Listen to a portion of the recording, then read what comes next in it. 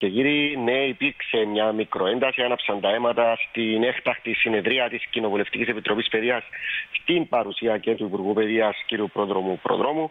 Η Επιτροπή, να πούμε πώς συνεδριάζει υπό τη σκιά της πανδημίας στους σχολικούς χώρους, τις απουσίες μαθητών και εκπαιδευτικών, τις εξετάσεις τετραμήνων, αλλά και τις νέες εξαγγελίες της κυβέρνησης για το τεστ του stay στις σχολικές αίθουσες.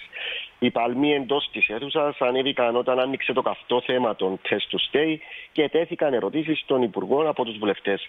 Ο Υπουργός έλαβε πειρά ερωτήσεων από πλευράς των βουλευτών του ΑΚΕΛ Χρήστο Χριστοφίδη και Άντρο Καυκαγιά για την κατάσταση στα σχολεία. Ο βουλευτής κ. Χρήστος Χριστοφίδη τόνισε πως αυτά τα τεστ στα σχολεία έχουν εφαρμοστεί με παραϊατρικό προσωπικό στη ΣΥΠΑ σε ένα περιβάλλον με καλό εξαρισμό αλλά και υψηλό ποσοστό εμβολιασμού στα παιδιά, ενώ διερωτήθηκε και το παράδοξο, όπως το χαρακτήρισε, πώ μπορεί ένα παιδί να είναι στο σχολείο μέχρι τις 1.30 αλλά μετά πρέπει να είναι καραντίνα. Από πλευράς κ. Άντρου Καυκαγιά, κατήγγειλε πως η κυβέρνηση εξαγγέλει ένα εργαλείο, ένα σύστημα και τώρα τρέχει να καλύψει τις αδυναμίες εφαρμογής του. Ε, να πούμε πως η ένταση στην αίθουσα ανέβηκε με τον Υπουργό Παιδείας να απαντά στους βουλευτές πως προτάθηκε ένα πρόσθετο μέτρο και έρχεται ένας βουλευτής να λέει να μην το κάνουμε. Τότε να μην το κάνουμε. Να μην κάνουμε ούτε τα εμβόλια που έχει κάποιους ακραίους που το λένε, όπως είπε χαρακτηριστικά. Ενώ συμπλήρωσε πως αν υπάρχει πιθανότητα τα παιδιά ενώ είναι επαφή, να υπάρχει ασφαλής τρόπος να βρίσκονται στο σχολείο, τότε να το κάνουμε αν είναι αυτή η λύση. Απαντήσει για την διενέργεια των τεστ αλλά και την απόφαση αυτή έδωσε ο επιδημιολόγος κ. Βαλεντίνος Σιλβέστρος.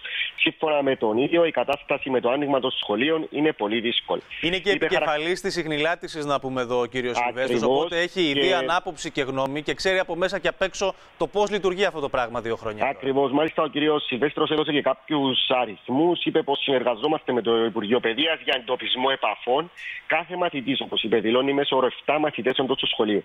Σημαίνει ότι ότι αν χθες βρήκαμε 287 μαθητές, σημαίνει πως 3.000 μαθητές θα μείνουν στο σπίτι. Άρα στην εβδομάδα, όπως είπε χαρακτηριστικά, μιλούμε για κάποιες δεκάδες χιλιάδες μαθητές. Πολύ μεγάλος αριθμός. Ε, Πολύ Ακριβώς. Χρήστο, να πούμε πως ε, ήγηρε κάποιες ανησυχίες και ο ίδιος, αφού είπε πως πρέπει να σκεφτούμε τι κερδίζουμε και τι διακινδυνεύουμε με αυτή την απόφαση.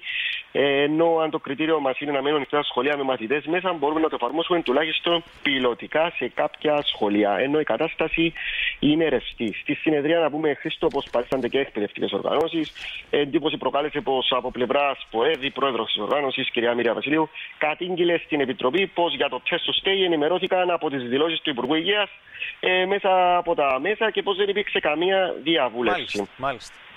Ε, Μιχάλη, να σε Είναι σε εξέλιξη η συνεδρία. Ο Υπουργός έχει μεταβεί σε μια εκδήλωση για την νεολαία και θα επιστρέψει από λεπτό σε λεπτό πίσω ώστε να συνεχιστεί, Ο... να δούμε πώς θα προχωρήσει. Οπότε μας ενημερώνεις και εσύ αν υπάρξει κάποια εξέλιξη ή κάτι νεότερο. Μιχάλη, να σε ευχαριστήσουμε Ακριβώς. πολύ και στο σημείο αυτό πάμε να καλωσορίσουμε και τη Μύρια Βασιλείου, η οποία ήταν μέσα στην Επιτροπή, όπως μας είπε και ο Μιχάλης. Κυρία Βασιλείου, ε, είστε έντονοι τις τελευταίες μέρες πάρα πολύ απέναντι στο ζήτημα.